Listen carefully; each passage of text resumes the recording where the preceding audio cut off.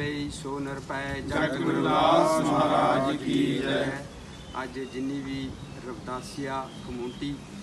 ਸਾਰੇ ਸੰਸਾਰ ਦੇ ਵਿੱਚ ਰਹਿ ਰਹੀ ਹੈ ਉਹਨਾਂ ਦੇ ਸਹਿਯੋਗ ਦੇ ਨਾਲ ਜੋ ਸਾਡੀ ਫਰਾਂਸ ਦੇ ਵਿੱਚ ਰਹਿੰਦੀ ਸਤਿਗੁਰਦਾਸ ਮਹਾਰਾਜ ਨਾਮ ਲੈਵਾ ਸੰਗਤ ਸੀ ਅਸੀਂ ਉਹਨਾਂ ਦੇ ਨਾਲ ਮੋਢੇ ਨਾਲ ਮੋਢਾ ਜੋੜ ਕੇ ਜੋ ਇੰਡੀਆ ਦੇ ਵਿੱਚ ਸਤਿਗੁਰਦਾਸ ਮਹਾਰਾਜ ਜੀ ਦਾ ਮੰਦਿਰ, ਉਸ ਸਮੇਂ ਦੇ ਰਾਜਾ ਸਿਕੰਦਰ ਲੋਧੀ ਨੇ ਉਹਨਾਂ ਦੀ ਕ੍ਰਾਂਤੀਕਾਰੀ ਭਾਵਨਾ ਫਿਲਾਸਫੀ ਵਿਚਾਰਧਾਰਾ ਨੂੰ ਦੇਖ ਕੇ ਉਹਨਾਂ ਨੂੰ ਦਿੱਤਾ ਸੀ। ਉਸ ਮੰਦਿਰ ਦੇ ਨਾਲ ਕੋਈ ਛੇੜਖਾਨੀ ਗਵਰਨਮੈਂਟ ਵੱਲੋਂ ਨਾ ਕੀਤੀ ਜਾਵੇ, ਉਸ ਦੇ ਸੰਬੰਧ ਦੇ ਵਿੱਚ